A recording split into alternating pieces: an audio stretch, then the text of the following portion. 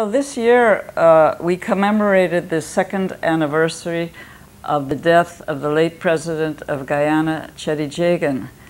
Uh, in Guyana, we're uh, very devoted to the task of seeing uh, that what he propounded and what he lived for all his life is fulfilled. And in furtherance of that, uh, the PPP civic government has continued uh, many of the policies and processes that he began, mainly uh, to bring relief to people, to improve the social welfare of the Guyanese people, and to bring about national unity. Uh, this is what we are pursuing, and this is what he stood for in his life. I was just reading a paper I had prepared last year, uh, which would have commemorated his 50th year as a member of parliament. A lot of people forget that uh, he's one of our earliest parliamentarians and entered parliament 1947.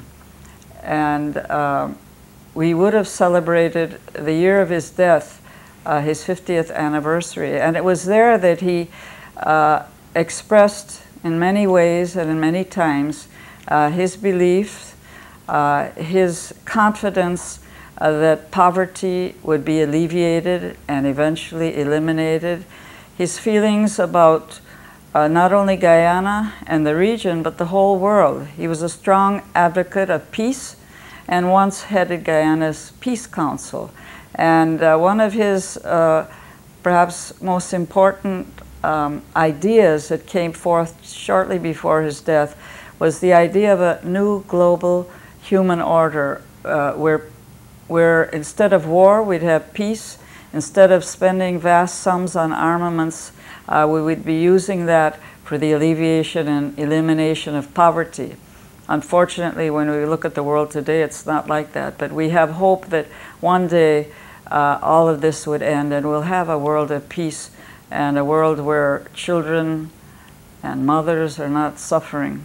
Uh, I would say that in totality, uh, Cheddi Jagan was an unusual man of this century, uh, a man who led the struggle for independence, led the struggle for the restoration of democracy, and set new ideas in motion. Uh, he had a mind uh, that was always open to new ideas and he turned them around in his mind and he uh, brought forth innovative ideas and plans for our country. Uh, so I think on this occasion it's apt to say uh, that he was a very important uh, leader in Guyana and one who will be remembered a hundred years after his death at least. Thank you.